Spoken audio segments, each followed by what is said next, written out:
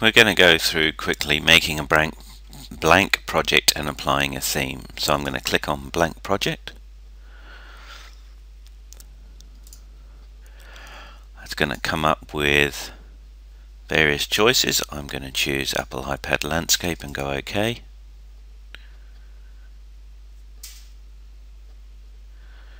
Once the slide's in here, so I can see the whole um, slide, I'm going to go up to the zoom area and go best fit and then I'm going to choose one of these themes. If the theme disappears it lives up here on this button. So I'm going to choose clouds and it gives me a warning all overrides um, to subject to object styles and properties will be lost. What that means is once the theme loads if we go down to master slides here you can see, I'll just pull that up a bit, whoops, sorry, pull that up a bit. You can see that all the master slides now are in that theme. So this helps us when we're building in Captivate. We don't have to build our master slides.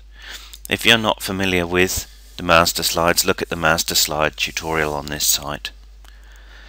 So there we are, we've opened a new blank project and we've applied a theme. When we go to um, insert new slide, sorry, I've got to click back into the film strip view. When we go into insert new slide, it will come up with a slide in that theme. If you want to change that look and feel, you can come over to master slide here and it'll give you the different slides. Once you've picked one of those, you insert new slide, it will insert the same master slide. So I hope that's not too confusing. If you want to change the look, you click on it so it's got that black border, you come over to master slide and you can change it.